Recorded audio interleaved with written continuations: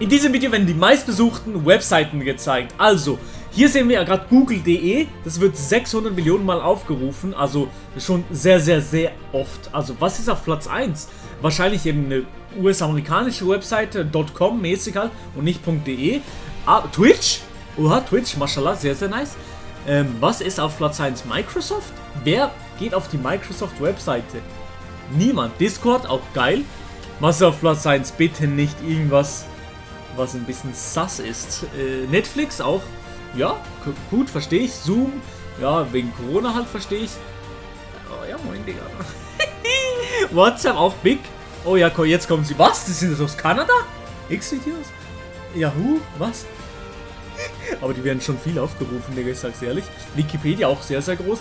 Was ist auf Platz 1, Digga? Facebook und YouTube? Oder einfach google.com wahrscheinlich, oder?